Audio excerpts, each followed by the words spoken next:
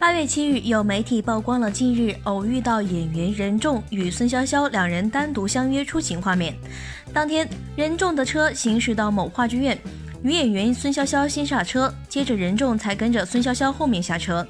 但到了话剧院门口时，孙潇潇十分安静地在路边等待同行的任重。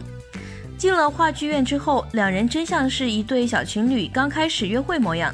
看完话剧后，两人乘坐任重的车离开。孙潇潇先上去，之后任重跟着上，举止十分自然。非凡娱乐实时报道。